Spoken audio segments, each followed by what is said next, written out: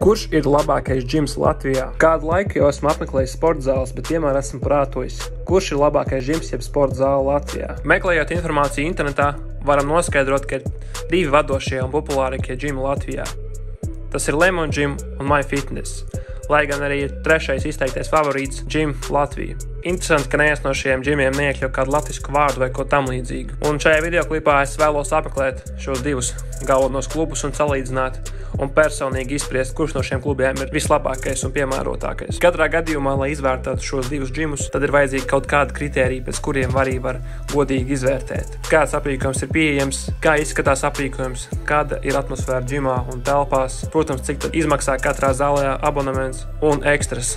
Katrai zālē, ja tādas, protams, ir. Ko? Tad aiziet, braucam uz zāli un izdarīsim workout.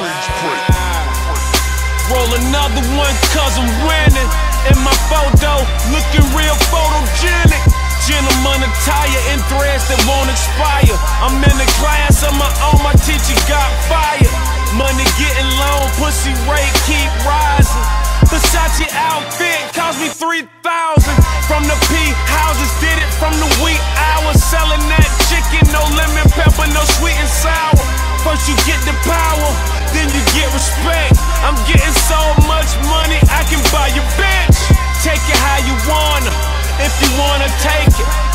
clubs where all the women working naked.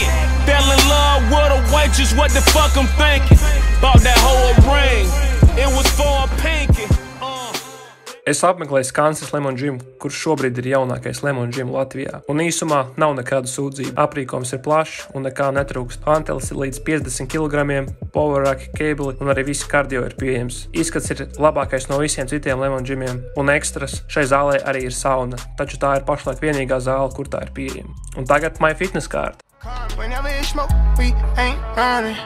Drip too hard, don't stand too close. You gon' fuck around and drown. Off this way, doing all these shows. i been on the road, I don't care where I go, long as I get paid. Bad little vibe, she been on my mind. Soon as I get back, she can slay. Do this all the time, this ain't no surprise. Every other night, another movie get made. Drip too hard, don't stand too close. You gon' fuck around and drown. Off this way, doing all these shows. i been on the road, I don't care where I go, long as I get paid. Šis ir arī jaunākais MyFitness Latvijā, kurš atrodas tirdzniecības centrā Sāga. Tāpēc uzskatu, ka viss ir godīgi. Un arī var teikt, ka izskats ir ļoti klīns, jeb tīrs un skaists. Aprīkojums arī ļoti solīts un viss nepieciešamais ir pieejams. Inventāra ziņā atšķirību nav. Savukārt sauna ir katrā MyFitness zālē, līdz ar to tur viņi ir priekšā. Plus šeit arī skan labāka mūzika, kaņai, bigijas un tam līdzīgi. Kurš tad ir labākais žims? Atbilde tāda, kurš ārtāks tev pašam. Jo vienīgais, ko es redzu, ir tas, ka MyFitness zāles ir dārgākas, bet tās ir daudz vairāk pieejamas. Lemon Gym ir lētāks, bet tas mēdz būt ar vairāk cilvēkiem. Tas arī pa lielam viss. Un mana pieredze abos šajos klubos bija lieliska.